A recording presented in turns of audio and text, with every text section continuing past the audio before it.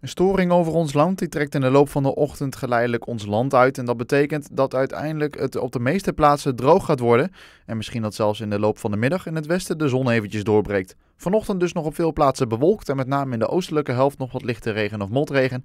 In het noordoosten kan er in de vroege ochtend ook nog een vlok natte sneeuw bij zitten. Grote temperatuurtegenstelling in eerste instantie, maar dat wordt vanmiddag dan gelijk getrokken.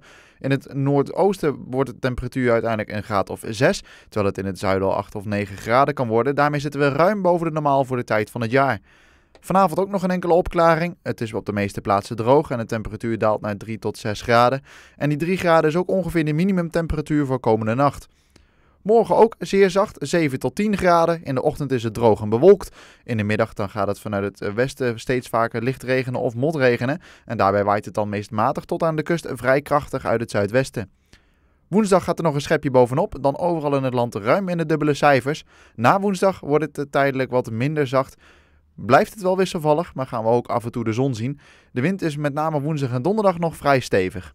Mijn naam is Wilfred Jansen voor Weerplaza.nl